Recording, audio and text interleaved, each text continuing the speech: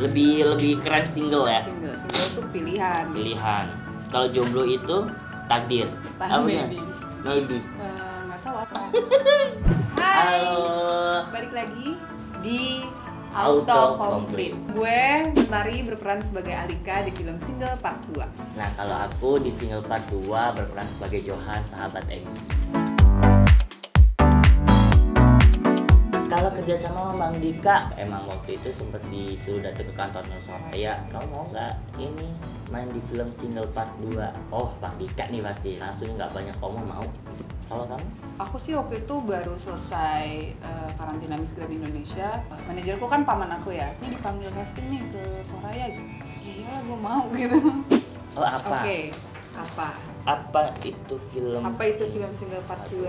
adalah kisah kelanjutan Ebi di, dari single satu menceritakan tentang seorang lelaki yang 30 tahun tidak punya pacar-pacar yes dan sangat sulit mendekati perempuan. Iya gitu.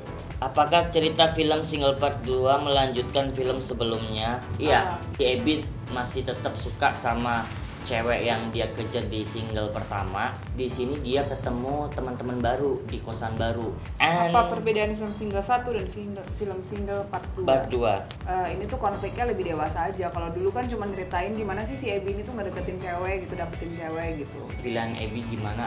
Uh, apakah menikah itu lebih membahagiakan daripada kalau kata si Ridwan Remin jomblo itu lebih menyenangkan Iya. gitu. Konflik Ebi jomblo atau Apa bagian favorit ketika syuting film single part, Part 2? 2, bagian favorit. Aku scene favorit adalah ketika pertama kali syuting hari pertama itu aku langsung lari-larian di sawah.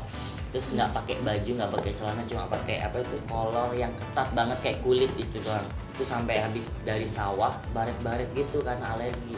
Eh besokannya langsung ke dokter karena semuanya udah gatel-gatel gitu. Kalau gue bagian favorit ketika syuting kayaknya pas retake karena pas retake itu pas gue ulang tahun kan jadi pas udah beres syuting Oh. langsung disurprisein sama semuanya itu scene apa, Pak? itu scene yang di mobil juga Oh, yang sama Ebi ya? yes yang sama Ebi Siapa? next Siapa pemain film single part 2? Satu si Ebi Raditya Dika, kedua saya sebagai Johan, saya Mentari Nova sebagai Alika terus Ridwan Remin sebagai Nardi. Pasti Anissa Rolas yang berperan sebagai si Angel and satu lagi si Arif Muhammad. Arif Muhammad. Betty. Mbak Betty itu berperan sebagai ah, Ah. itu nggak boleh sebutin tuh. Rahasia ya. nonton nonton deh. Siapa sutradara film single part 2 Raditya Dika. Nah, siapa penulis film film single part ya dua. pasti lah Raditya Dika. Siapa, penonton film single part 2 dua? semuanya. Seluruh rakyat Indonesia, dan di luar negeri juga. Iya, ada nggak ya? Nggak Ada. Nggak? Nggak ada ada. ya? Mencari novel. Mentari Novel Biodata. Saya sebenarnya Mentari Gantina Putri. Novel itu nama papaku. Lahir di Sukabumi tanggal 14 Maret 1993 Orang Sunda. Malah bahkan ada yang bilang kayak orang timur ngerti oh timur. Timur. Karena bokap gua Arab, Arab Indonesia. Terus kalau mama Sunda. asli Jadi pas keluar nggak jelas nggak tahu apa. Kayak samar-samar lah ya. Sama lagi, oh kuliah eh, Hubungan Internasional Universitas Indonesia. Hobi. Kita lah coba itu diperdalam lagi. Itu ya, Hmm. agak repot memang Eh, kalau itu biar ya. nggak kayak judul film kita nih single. Mentari novel pacarnya siapa gitu Nah, coba enggak kepanjangan coy, Nah. ini kali aku laki Oh, jadi waktu itu pas gue keluar dari Miss Indonesia, bikin apa ya di YouTube pengen mulai berkarya Hmm. karena kan udah nggak begitu terlalu sibuk sama kegiatan kuliah kan. Akhirnya coba-cobalah bikin cover karena Firza itu jadi eh, yang nyanyi ketika catwalknya Miss Indonesia itu, terus kayak ih lagunya enak juga nih, terus ya udah aku bikin cover yang Covernya. versi perempuan. coba ini apa ekspektasinya Apa? Mentari novel nggak punya pacar Terus aja. Tahu gak sih dari kemarin tuh gue dibully mulu, dibully mengenai single nggak apa-apa gue udah ikhlas lah selama Ikhlas ya. gue dibully. Nah Oh. sampai kapan? Single kedua aku setelah cover cover cover kayaknya aduh kayak pengen punya karya sendiri gitu ya udah 2017 awal aku bikin Talk to Me Ini yang sama si Eka kan? Iya, akhirnya aku bikin entah sampai kapan sama Eka Gustiwana dan adik aku Brett Hussein yang rap. Gitu. Dan aku yang bagian marodiin. Iya, dan dia bikin parodinya entah sampai kapan. Kemudian- Padahal kita belum kenal loh waktu itu. Belum cuma tahu dia anak famous doang. Oh, Iya, dia gitu. anak famous gitu. Terus sekarang kita satu film. Gila. Luar biasa. Gila. Soalnya Coba kenal dengan orang-orang kreator di Famous ID. dan aku gelombang pertama, kamu gelombang berapa? Aku gelombang pertama juga. Oh ya? Iya. Wah. Miss Oh, Indonesia. Jadi aku ikut Miss Indonesia tahun 2015. Sebenarnya ikut pengen ikut kontes kecantikan itu dari SMA. Aku tuh anaknya agak cuek, nggak bisa dandan. Aku ikutan Mojang Jajaka tahun 2011. Nah di situ menang. Dari situ aku baru mulai belajar tuh dandan. Sampai akhirnya aku ngerasa pede untuk ikut Miss Indonesia. Masuk berapa besar kamu? Tujuh besar. Tujuh ya? Oh, Anda kan Miss Universe Indonesia Yes, adanya ya? eh, aku- Tasya aku yang punya, aku yang Oh punya iya lisensi. bener lisensi.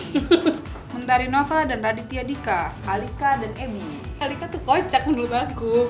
Benar, per- itu karakter kamu banget ya? Eh, mungkin kalau ngomong ambil senyum yang kayak gitu ya mungkin Mentari kayak gitu ya. Tapi eh, Alika tuh kayak cewek masa kini banget gitu yang kayak yang berani ini duluan, yang kayak gitu-gitu, tipe-tipe cewek yang kayak gitu. Sedangkan Nggak kan pemalu kayak orang Sunda lah. Uh, uh, sedangkan kan gue gak kayak gitu jadi kan setiap pas main perannya tuh kayak aduh Alika Alika lo ini bantuin dong lo Iya. bantuin jadi Ebi lo kan gini uh, eh Bi Iya? lo bisa ikut batang ciantu pakai lidah nggak masa kata orang kalau bisa katanya ciumannya jago banget Iya benar. iya coba dong coba gue mau lihat Bi lo nggak apa-apa kan Nggak apa-apa. Bi lo udah cium berapa cewek Bi jago banget Oke, next Yoga Ruzone. Biodata juga jangan-jangan atau enggak Istri. Coba ya, Istri, istri Yoga coba. Rizona. Coba kita tuh. Tada Oh enggak, Oh, Dub Smash. Smash. Itu bermula 2015. Aku mulai bikin Dub Smash gitu. Nggak lama kemudian 2016 awalan gitulah. Itu sempat turun aplikasi itu. 2017 aku mulai lagi dengan coba dubbing tapi nggak pakai aplikasi tapi pakai kamera kayak ginian. Aku mulai naik lagi dari Dub Smash. Miss Grand International Waktu itu kalau nggak salah Ariska Ariska Putri Putri Pertiwi dia kan menang. Nah di situ kan heboh tuh Miss Grand. Nah aku carilah opening number. Bikinlah aku tuh waktu itu. Padahal gue udah ngarep opening number gue bakal di ini Iya, nggak ada ternyata number. lo nggak ada opening number kan Miss Grand Indonesia.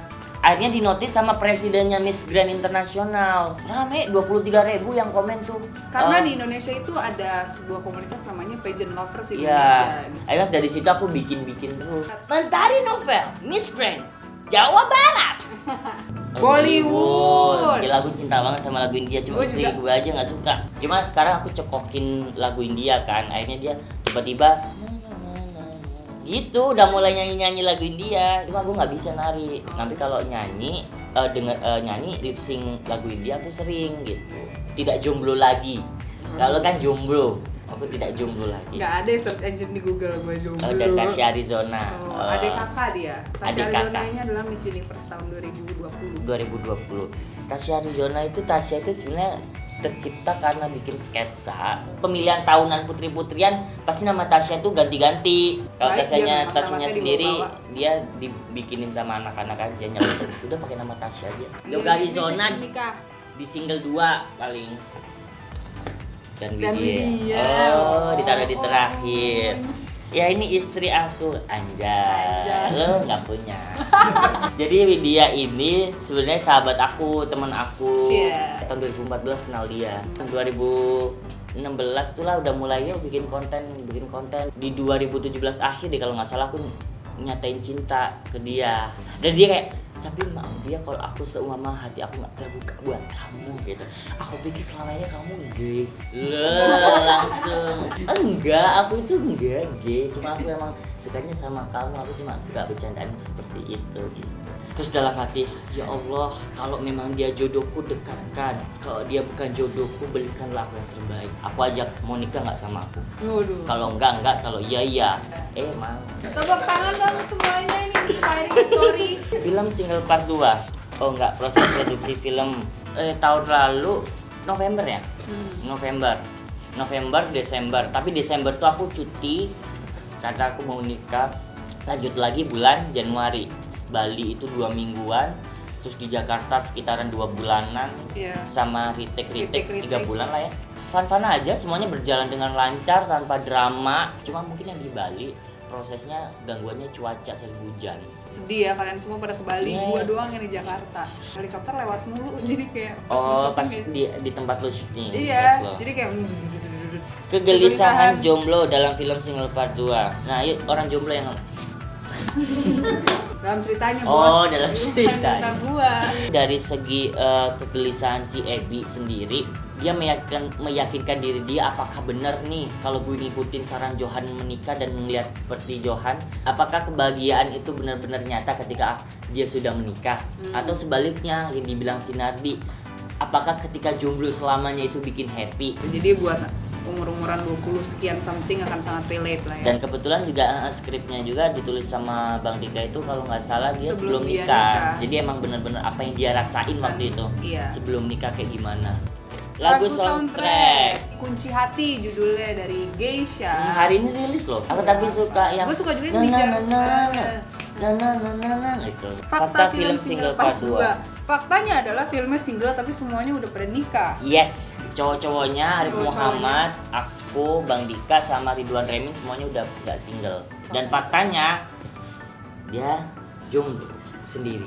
Aku tahu ini film single part 2 tayang kapan pasti terakhirnya Please satu jangan soalnya kan pasti harus ada promo-promonya gitu Wah benar 4 Juni 2019 Oke, Oke. thank you for watching. Jangan Yes. lupa follow sosial media kita, Yoga Arizona Mentari Novel, dan juga follow Instagram Soraya Interset Film. untuk update info-info terbaru film dari uh, single part 2 Subscribe channelnya Famous ID.